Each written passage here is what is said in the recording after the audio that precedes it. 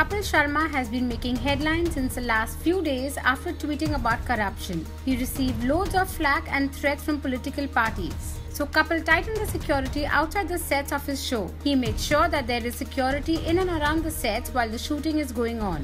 The security is beefed up from the entrance of the film city to the stage of the studio.